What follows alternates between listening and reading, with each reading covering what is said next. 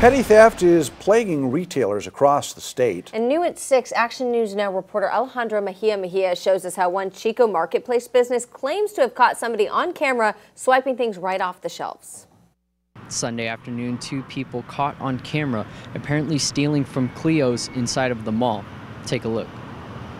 The two people are clearly seen on surveillance video stuffing more than $100 worth of hair products into a bag. This isn't new for the store.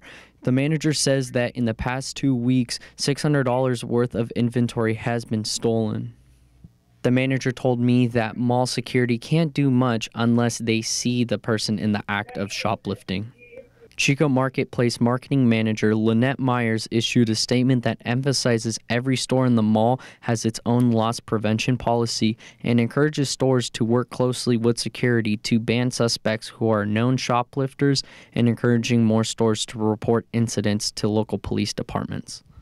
The manager told me the only way to make up for the loss is to cut staffing and to try to boost sales.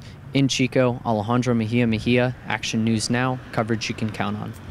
If you have any information on who those suspects are in that video, you can message Cleo Salon on Facebook.